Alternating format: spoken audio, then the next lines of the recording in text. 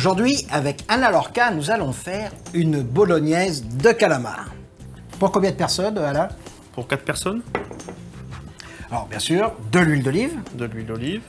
On va pas te faire de reproche à toi d'utiliser du d'olive. Alors là, tu as mis combien? Deux cuillères à soupe d'huile d'huile d'olive, un oignon, Oignon. un bel oignon euh, haché, Haché. finement. Tu veux un autre non, Un petit peu va? plus, oui. Voilà, ça fera Voilà. deux bonnes cuillères et demie d'huile. On va rajouter le calamar 500 g de calamar coupés en petits dés, hein, qui font des dés d'un demi centimètre de côté. On va légèrement saler. Pas vrai? Oui.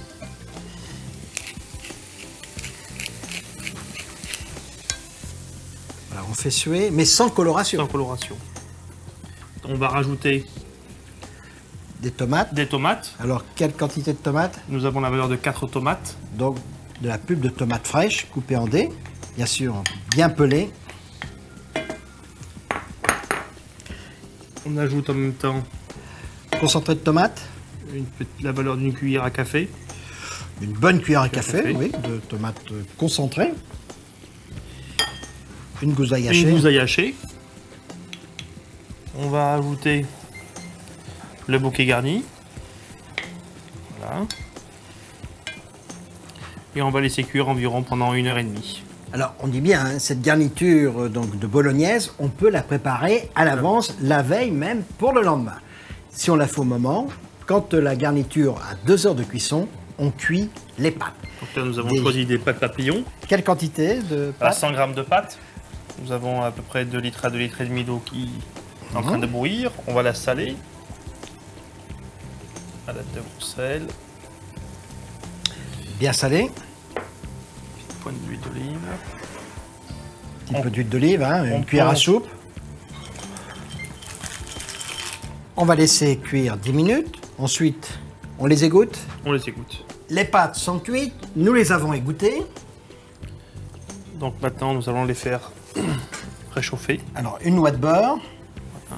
Oui, hein, il n'y a même pas 10 grammes de beurre pour 4 personnes. Une cuillère à soupe d'huile d'olive. Et on va lier les pâtes. Oui. Merci. Elles sont bonnes, juste cuites comme il fallait. Donc voilà. Là, nos pâtes sont liées. Oui. On peut dresser. On peut dresser Alors, on peut mettre les plats sur la table comme ça, mais c'est encore mieux de dresser sur, sur des assiette. assiettes. Donc on partage Les pâtes en 4. Donc, il y a les 100 grammes de pâtes. Oui.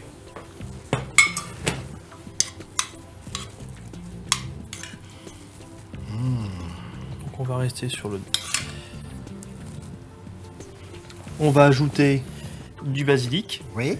Alors, coupé, Alors- oui, en gros morceaux, hein, en, en carré. Donc là, il y a deux cuillères à soupe de basilic coupé en carré. On va ajouter sur chaque assiette un copeau de parmesan. Voilà, avec un couteau économe, deux copeaux. Et voilà. On va rajouter quelques gouttes d'huile d'olive. la signature d'Alain Lorca.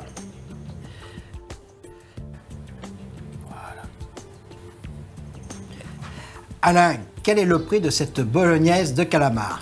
Environ 3 euros par personne. Au revoir. Et bon appétit, bien sûr.